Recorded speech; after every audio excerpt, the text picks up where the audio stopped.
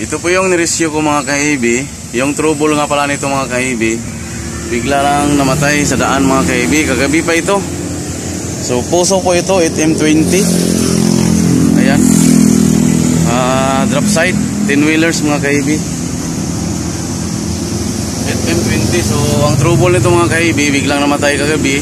So ayun, natambay siya hanggang ngayon kasi nirescue ko po mula Libungan. Makilala po ito sa Makilala North Cotabato, nirescue ko. Kasi ang nakita kong trouble mga kaibigan